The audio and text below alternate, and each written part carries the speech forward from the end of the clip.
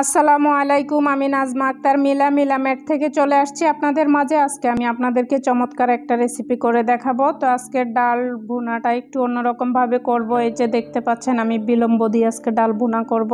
তো এই খাবারটা খেয়ে না থাকলে একবার অবশ্যই খেয়ে দেখবেন। তো এই যে দেখতে পাচ্ছেন, আমি এখানে ছয়টা বিলম্ব নিয়েছি, দুপাশ থেকে মুখটা কেটে ফেলে দিয়েছি। আমি এগুলোকে আস্তই রাখব আর এখানে দুই কাপ পরিমাণ মশারির ডাল নিয়েছি।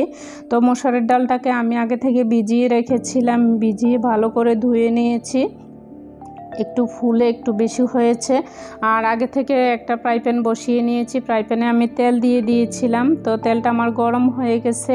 এখন এখানে আমি দুই টেবিল চামচ পেঁয়াজ বাটা এবং এক টেবিল চামচ রসুন বাটা দিয়ে দিচ্ছি। তো এই যে দেখতে পাচ্ছেন। এখন এটা আমি তেলের সাথে ভালো করে মিক্স করে নিলাম। এক চা চামচ হলুদ গুঁড়া দিয়ে দিলাম। আমি কোনো মরিচ ব্যবহার করতেছি না মরিচের গুঁড়া আমার মায়ের জন্য। আর লবণটা আমি স্বাদ মতো দিয়ে দিলাম। আপনারা অবশ্যই মরিচের গুঁড়াটা ব্যবহার করবেন।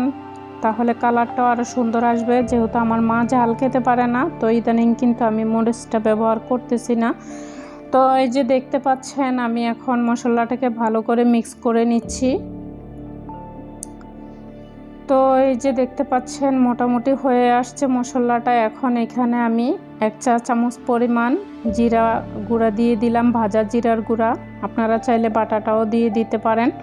তো এই যে খুব সুন্দর একটা স্মেল বের হয়েছে, তো আমি মশলাটাকে আরও কিছু সময় কষিয়ে নেব। এখানে আধা কাপ পরিমাণ পানি দিয়ে দিচ্ছি। তো পানি দিয়ে আমি মশলাটাকে আরও কিছু সময় কষিয়ে নেব, আর মশলার সাথে আমি এখন কাঁচামরিচটা অ্যাড করে দিচ্ছি। যেহেতু আমি কিন্তু এটাকে ফালি করে নিই কাঁচামরিচটাকে আস্তই দিয়ে দিলাম। যদি ফালি করে দেই তাহলে এটা থেকে জাল বের হবে আর আমার মা খেতে পারবে না সেই জন্য আমি আস্ত দিয়ে দিলাম। আপনারা চাইলে ফালি করে দিতে পারেন।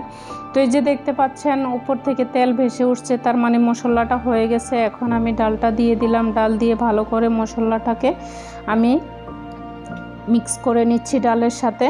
তো এই যে দেখতে পাচ্ছেন, মোটামুটি বলক চলে আসছে ডালটা। তো এখন আমি এখানে একটু দারচিনি, এলাচি এবং তেজপাতা দিয়ে দিলাম। তো আপনারা চাইলে এগুলোকে স্কিপ করে যেতে পারেন বা ইচ্ছে হলে দিতে পারেন, এটা আপনাদের ইচ্ছে। অনেকে দারচিনি, এলাচিটা খেতে চায় না বা তেজপাতা খেতে চান না, এটা আপনাদের ইচ্ছা অনুযায়ী দিতে পারেন। তো আমার কাছে অসম্ভব ভালো লেগেছে আজকের ডাল বোনাটা। তো এই যে দেখতে পাচ্ছেন, আমি এখন এটাকে ঢাকনা দিয়ে ঢেকে দিলাম।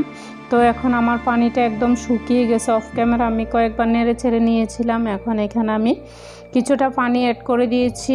তো আমি আজকে গরম পানিটা অ্যাড করতে পারিনি, যেহেতু হাতে খুবই সময় কম। আর ব্যস্ততার কারণে আমি গরম পানিটা করে নিতে পারিনি। আপনারা চেষ্টা করবেন গরম পানিটা ব্যবহার করার জন্য, তাহলে সাথে সাথে বলক চলে আসবে ডালটা।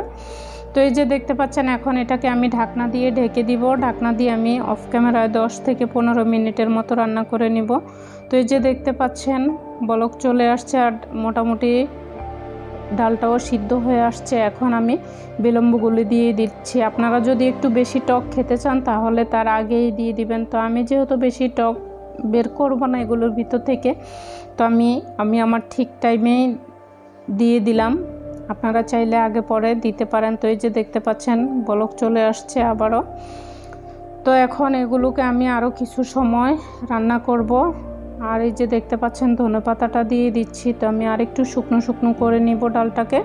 তো এই যে দেখতে পাচ্ছেন, আমি ঢাকনা দিয়ে এখন কিন্তু আবারও ঢেকে প্রায় দু থেকে তিন মিনিটের মতো রান্না করব। তো আমার চ্যানেলে যদি আপনারা কেউ নতুন হয়ে থাকেন, আপনাদেরকে স্বাগতম। আর আমার চ্যানেলটার সাথে থাকার জন্য আপনাদেরকে অসংখ্য ধন্যবাদ। তো এই যে দেখতে পাচ্ছেন, আমার আজকের রেসিপিটা এখানেই রান্নার শেষ। এখন গরম ভাতের সাথে পরিবেশন করব। যদি আপনাদের ভালো লাগে, অবশ্যই একটা লাইক দিবেন কমেন্ট করবেন। আর ভালো লাগলে বন্ধুদের সাথে শেয়ার করবেন। আর আসসালামু আলাইকুম। আল্লাহ হাফেজ।